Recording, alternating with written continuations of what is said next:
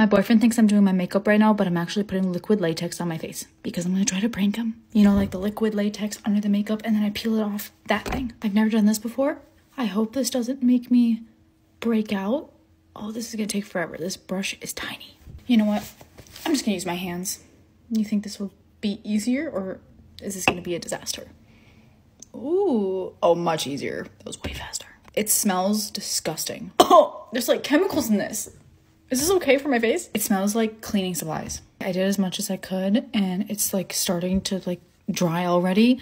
Uh, so I'm gonna do the rest with this, this tiny brush they give me. Oh, I accidentally got it in my nose. Okay, now it's time to wait for it to dry. Practice peel.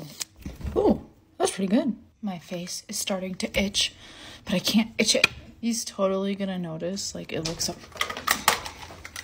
Hi, babe.